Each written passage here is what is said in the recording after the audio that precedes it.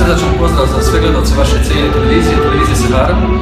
Nadam se da će moje pjesme naći put do vaših srca. Želim vam svako dobro i vidimo se, uživajte u mojim pjesmama.